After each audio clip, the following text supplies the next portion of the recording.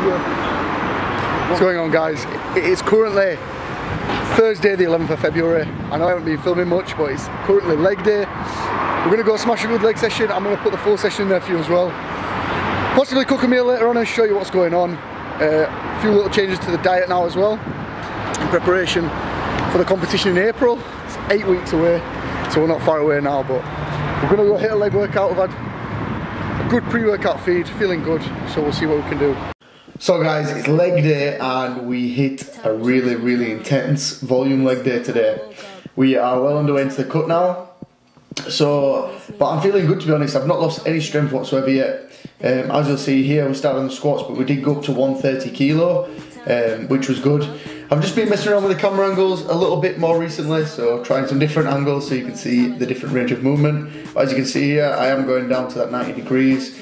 You can go sub 90 degrees, uh, it all depends on your range of movement and one of my knees is still not the best so I'm trying to just obviously go to where I need to go. I feel it, I'm getting DOMs so I know I'm working and the range of movement's good so uh, that's all that matters. So we did six working sets of squats going from obviously two warm sets of 68 followed by six full working sets. So we went from 100 to 110 to 120 to 130 and back down to 100 for the last set to get 12 reps. Um, really, really trying to squeeze, trying to go all the way to the top so we are going up but we're not locking the knees, we're keeping a slight bend, uh, soft knee as you should. Engaging the core, you can see when I go down, you can see my core tightening up a little bit. Um, and I am start, starting to notice my abs a little bit more now. We've been dieting for two weeks. I was a bit of a fat lad, but it is what's obviously needed to put the size on. Um, so, like I said, you'll see a few working sets of squats here. There's one more working set after this one for you to see, which is my max, which was the 130. Still feeling strong. Um, whilst this clip's running, guys, just a quick update. The clothing is coming, the samples. Um, so I'm going to show you the samples as soon as they arrive. Um, it's a really, really high quality um, clothing, so I made sure I put a lot of effort in um, and made sure that the quality is right because I want to show you guys, uh, and obviously we want it to be right. So as you can see I was struggling with the last couple of reps. Um, I really just dug in and got it done. Uh, and this was the 130, 130 set. Um, I got one of my friends to film it for me whilst I was in the gym. Uh, and you can see obviously how deep I'm going on these reps now. Um, there you go, down to 90 degrees. Trying to keep my back as straight as possible. The weight does feel quite heavy. I'm putting my toes outwards, um, obviously to make sure the knees don't come in, to make sure the knees stay out, which is obviously part of the form and part of trying to keep my knee as good as possible during this cut. I don't want to have any problems. I want to be able to squat. So after the squats, guys, we moved on to a leg press volume. So we were aiming for hypertrophy still, 8 to 12, but really slow and controlled, time under tension. Um, we did one warm set here, which was just nice and strong, but as you can see, the eccentric movement is quite slow compared to the concentric. So the concentric is the upwards phase and that's powerful and the eccentric is the downwards and we're trying to obviously have time under tension there and keep it slow and controlled. We did four or five sets of the leg press um, which really burns after doing squats. It's a really good exercise to do. Some people don't like it but as, as long as you get the form right and you can see that angle here is a good angle. As long as you've got the form right um, you'll be fine. I feel it through my knees sometimes but if you press with your heels instead of the ball of your foot, if you push through your heel, you feel a lot better um, and you feel a better contraction on the quad as well. After the leg press guys, we moved on to walking lunges. The track at my gym is really good, so I do walking lunges on the track and it feels really good. You can see the pain in my face then after doing that set. Um, as you can see here, going up to 90 degrees as well, the right angle, making sure your toes are in front of your knee, make sure your knee doesn't go over your toes on your front leading foot, otherwise you've not stretched far enough.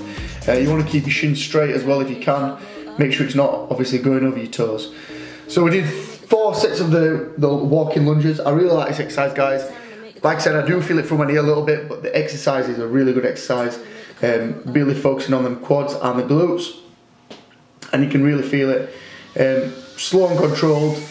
By this time, my balance starts to go. As you can see, I'm a bit all over the place. Uh, so I step out a little bit just to stabilise myself. And you can see coming back. Uh, trying to keep it, there you go, failed a little bit on that rep. Uh, that's what it's all part of. After this, we've pretty much exhausted the quads here, so we moved on to hamstrings. Started off with some leg curls, as you'll see here. So we're really explosive down with a squeeze, and slow and controlled up.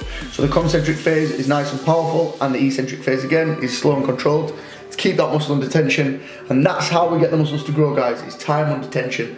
I can't emphasize it enough that hypertrophy works best, time under tension and that's how it is. So like I said for this cut I'm going to keep time under tension just because it works for me and I'm going to keep hypertrophy because I want to maintain as much lean muscle as I can um, through this cut. Obviously it's a big competition coming up so we want to be looking as full as possible and keep as much of the gains that we made in the short period of time. So guys, what's left to come now is some more leg curls and then I've got some calves. With the calves guys, I'll just explain it quickly. So I do one set with my feet pointing up, one set with my feet pointing outwards, and one set with my feet pointing inwards. Uh, the reason we do this is to hit every part of the calf. Um, it's just, I feel like we get a better squeeze if we hit every part of the calf by doing one set of each to get a good contraction on every every part of it. So I'm gonna leave the footage with you now guys. There's only a little bit left to watch, about a minute or so, and then I'm gonna catch up with you after. Um, I'll be going through a meal with you. So there'll be a haddock meal. I'm loving the haddock again, loving the fish. But I'll catch up with you after the workout guys and I'll go through everything there.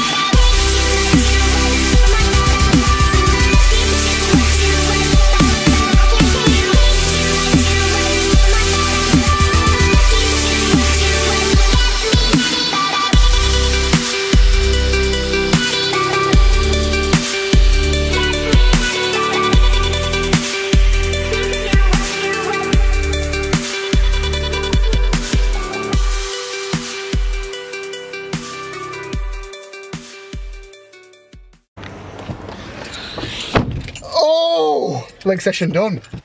What's up guys, so we've just got back from the gym now. Um, it's time for our post-workout feed.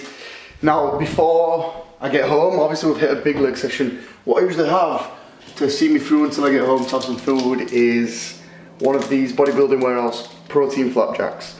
Now, the reason I have that is because it's low in sugar, and it's got the carbs and the protein in to hit that anabolic window, because sometimes I don't get home for like half an hour after training. So I just get that in there, you know, just to see me through to my meal.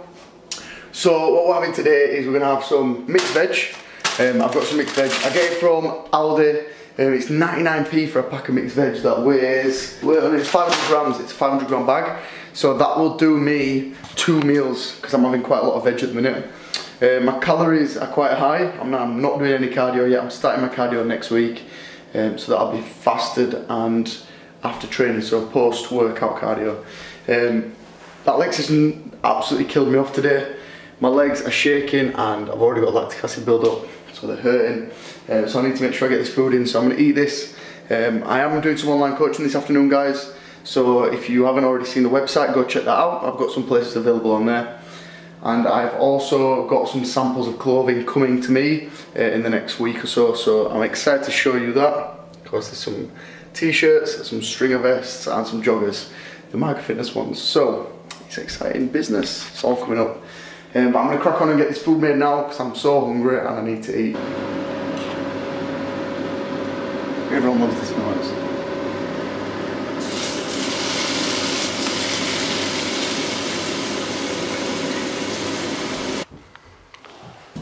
So we've got it guys, we've got the haddock, we've got the mixed veg and the rice, and obviously the green tea as well, can't miss that out.